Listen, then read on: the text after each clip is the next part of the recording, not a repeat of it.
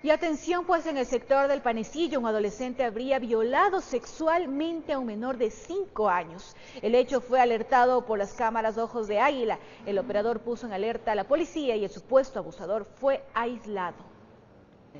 La tarde estaba por fenecer. El operador del sistema Ojos de Águila realizaba un seguimiento en el centro de Quito. De pronto observó algo inusual, acercó la imagen y vio movimientos extraños en un espacio verde.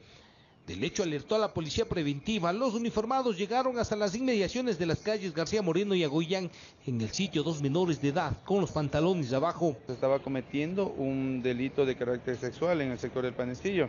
Por la forma como fueron encontrados, no había dónde perderse. Aparentemente, el adolescente de 14 años ultrajaba al niño de 5. Serían amigos del barrio, conocidos de la zona, y aprovechando que nadie cruzaba por el lugar, presuntamente procedió a violar al pequeño. Estaríamos hablando de un delito, se podría decir de una violación. El muchacho de 14 años fue aislado en delito flagrante y entregado a las autoridades correspondientes en los exámenes médicos al pequeño. El especialista confirmó que hubo violación. Eh, se le brindó ayuda psicológica, de igual manera se le realizó exámenes proctocológicos en donde determinaron que sí existió un abuso por este adolescente.